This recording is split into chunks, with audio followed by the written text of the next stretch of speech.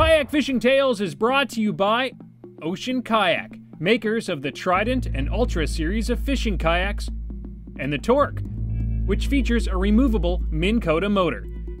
Check them out at oceankayak.com. Just getting back in, give myself a little time limit here, half hour, maybe an hour. Try to catch another one, see what happens.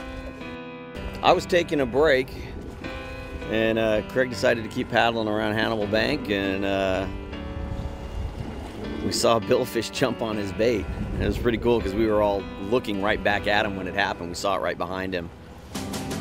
And uh, it's not a real big billfish that we can tell anyway, but uh,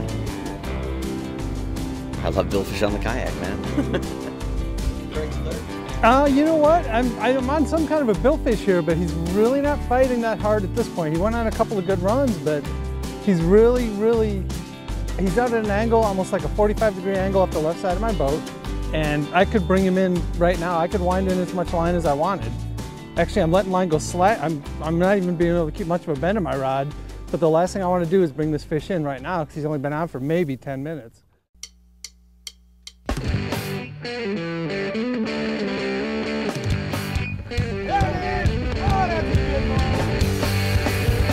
Can we land that?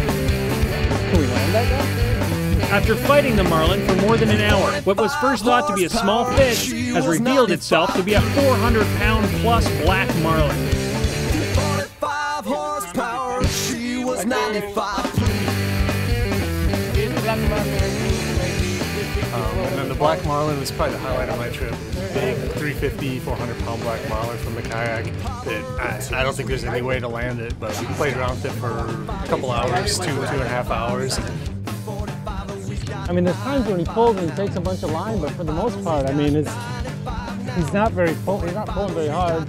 He's been in relatively close the whole time. Craig refuses to give up, but this isn't a stalemate. The black marlin is winning.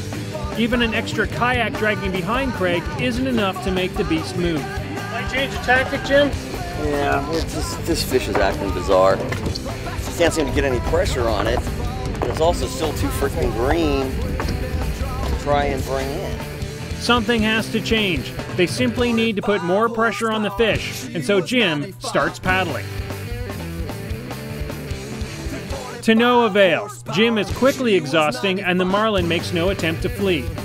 With daylight waning, Craig makes one last attempt to pressure the fish before he cuts the line.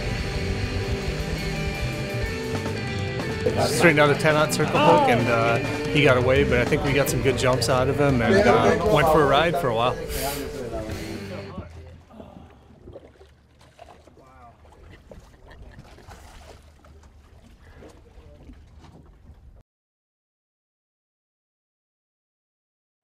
For outstanding customer service, expert advice, and an extensive selection of quality kayak fishing products, visit Hook One at kayakfishinggear.com.